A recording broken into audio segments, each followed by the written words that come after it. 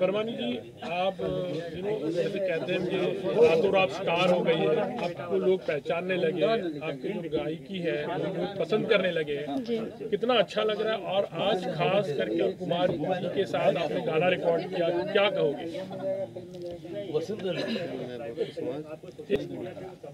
जी परमानी जी बताइए आज जो गाना रिकॉर्डिंग किया आपने कुमार सानू जी कैसा रहा ये रिकॉर्डिंग बहुत अच्छा रहा। और बहुत ख्वाहिश थी मेरी कि गाना गाऊं और मेरी आ, मैं आज बहुत खुश हूँ कि आज मेरा वर्षों का सपना पूरा हो गया। तो किस तरह यहाँ पहुँचे आप? मतलब आप मुजफ्फर से हो छोटे से गाँव से हो आज रिकॉर्डिंग के लिए तो कुछ उस, उसके बारे में बताइए आप यहाँ तक कैसे पहुँचे? जी गाड़ी थी एक बार घर में बैठी हुई। ये भैया आँसू हैं ये राहुल जी। इन्होंने मेरा गाना सुना इन्होंने इन्होंने हिम्मत बढ़ाई। कहने लगे आपकी वो, आपकी आवाज़ तो बहुत अच्छी है। इन्होंने वीडियो बना दी यूट्यूब पे डाल दी पब्लिक को अच्छा लगा। उन्होंने मुझे कमेंट करा अच्छा अच्छा लिखा, देखा, उन्होंने बहुत पसंद करा मुझे।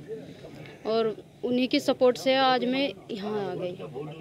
अभी कुमार जी से मिले जी। एक ड्रीम था एक सपना था। जी जी। अभी सपना पूरा हुआ जी। क्या कहोगे इसके बारे में? कैसी खुशी महसूस कर रहे हो? कुमार जी को मिलकर आपने उनसे क्या बातें की कुछ? बहुत खुश हूँ बहुत ज़्यादा।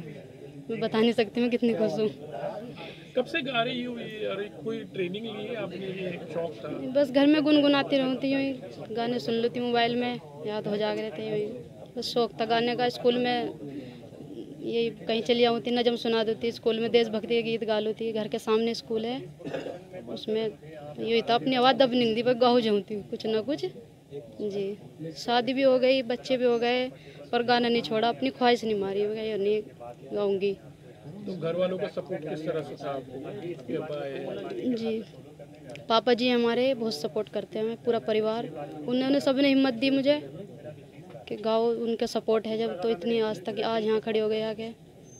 शोहर को तो हमारे पसंद नहीं था गाना। वो तो कभी आते नहीं, मिलते नहीं, कभी फ़ोन पे भी नहीं पूछते। तो उनको अच्छा नहीं लगता था कि मैं गाऊँ या नहीं। फिर भी मैंने कुछ नहीं सोचा, नहीं मुझे अपनी ख्वाहिश है। टैलेंट है एक, दिखाना है। पब्लिक को बहुत अच्छा लगा। उन्होंने मुझे बहुत सपोर्ट करा कमेंट करा अच्छा अच्छा मुझे। तो मुझे भी खुशी हुई मेरी भी हिम्मत बढ़ी गाने की ओर। इसलिए बस। जैसे आपको पता है कि पिछले कुछ दिनों में रानू मंडल जी भी यू नो वो भी काफ़ी अच्छा गाते थे और वो भी टैलेंट हिमेश रेशमिया जी ने लाइक जी। चांस दिया।